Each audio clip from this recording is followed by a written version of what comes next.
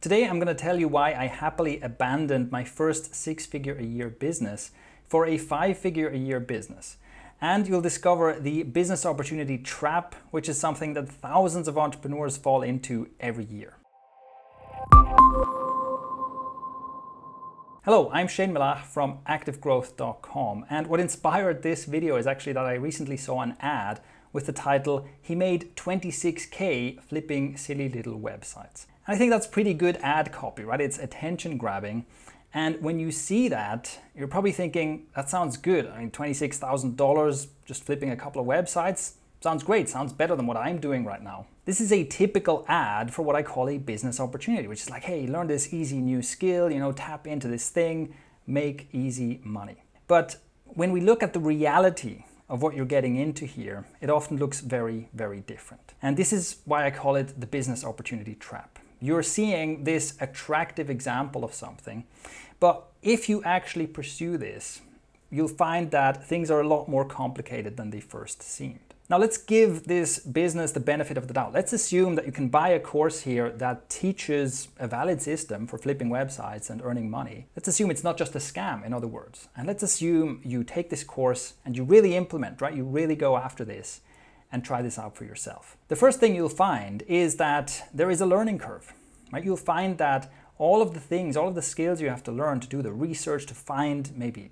expiring domain websites or, or, approach people, do outreach to buy people's websites and so on. The systems you need to actually improve those websites and then find buyers who are going to pay you more than you paid and all that, you'll find that it's actually very complex. You'll find that there's actually a lot of new skills you have to acquire and there's a learning curve. But let's say you stick with it and within one year you reach a good result. At this point, you'll probably find out that the original example and the original promise was an absolute best case scenario, right? It's probably the best case scenario that someone made 26K following this system because they're going to show you their best example and not a typical example. But let's say you do really well and you actually make $20,000 flipping a website. And here you'll find the biggest problem in the business opportunity trap, which is that those $20,000 in revenue don't equal $20,000 in profit. Because, well, you had to buy this website, you maybe spent a few thousand dollars buying this website, then you had to invest time,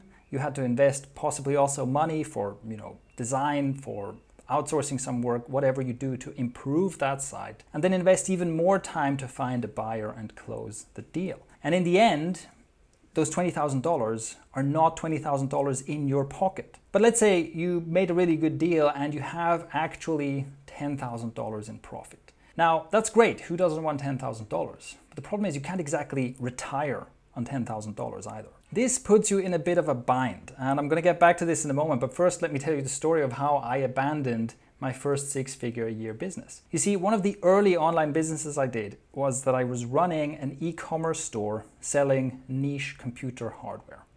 And this e commerce store actually made more than $200,000 in the first year and more than $300,000 in the second year. And that sounds pretty exciting, right? I could make an ad saying, make $200,000 in e-commerce in year one. Wow, sign up for this, right? But if you look at this actual business with razor thin profit margins, and with a lot of expenses for shipping and returns and taxes and all this kind of stuff. Once all was said and done, how much did I make? How much money did I actually make for myself in those two years? Well, basically zero. I just about came out even by the time I gave up this business. I just about spent the same amount of money that this business had made. My next business was an online course business and it made five figures in the first year. I don't know the exact numbers anymore, but it was something like $50,000.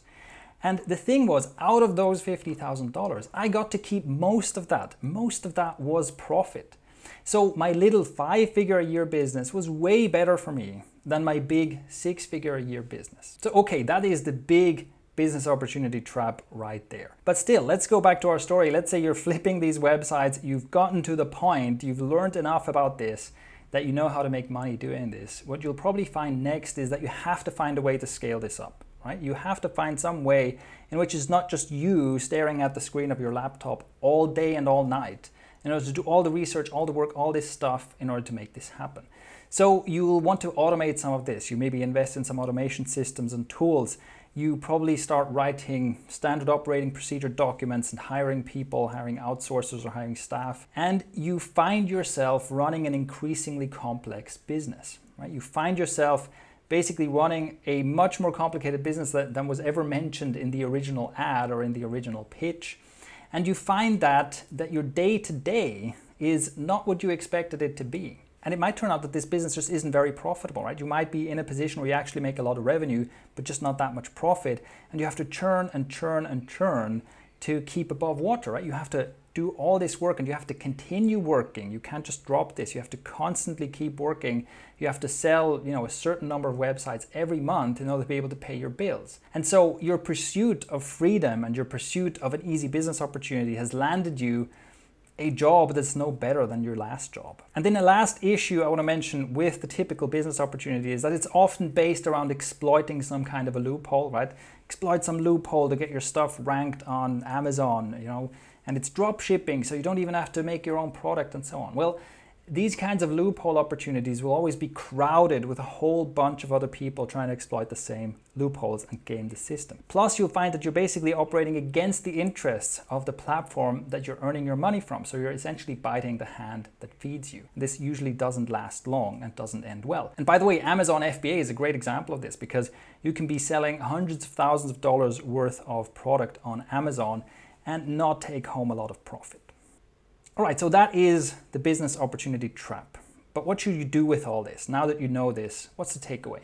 Well, it might surprise you to hear that I'm actually not all negative on this. I think that pursuing something like this and doing this learning, you know, going through the learning and kind of learning the lesson the hard way, is not necessarily a bad thing to do. It can cut your teeth and build some entrepreneurial and marketing skills doing this. I think that's better than being passive. It's better than not taking action on anything.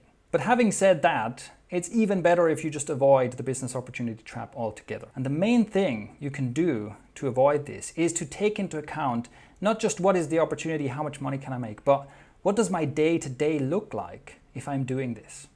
You know, how many people get into something like Amazon FBA just because they want money, but they don't ask themselves, is the day to day of my life, do I want that to be things like you know inventory, reaching out to Chinese manufacturers, doing niche research, doing this whatever stuff to game the system, right? Is that what I want to be doing with my life? Is that what I want to spend my time on? And I think this is the real trap.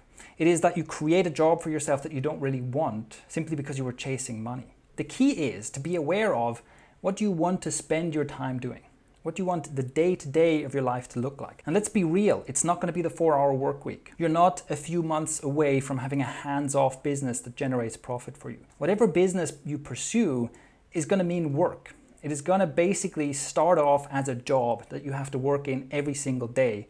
And if you do really well, maybe after a few years you can kind of hand it off and automate it. But you have to choose something where your day to day, the work you actually do, is stuff that you want to be doing. The ideal outcome, in my opinion, is that you basically have both. That you have a business where the day to day work is stuff that you want to be doing and that you enjoy doing, so you don't actually feel the need to you know, get yourself out of this business and hand it off to someone else. But also, you can do that. So you, you're not forced to do the work because you've systematized it, you've outsourced it, and so on, but you like doing it so it doesn't feel like a job and it doesn't feel like a trap. So that's my takeaway for the day. Take a look at the thing that you're pursuing right now. Take a look at the goal that you have right now, the business opportunity or the system that you're going after, and ask yourself if this was a job, would I apply for it?